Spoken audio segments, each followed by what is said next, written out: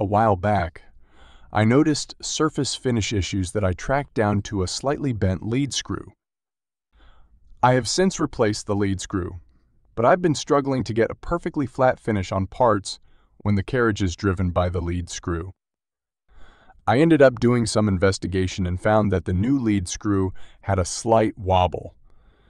It ended up being a combination of the lead screw not being aligned properly and a very small bend that is within the manufacturer tolerances.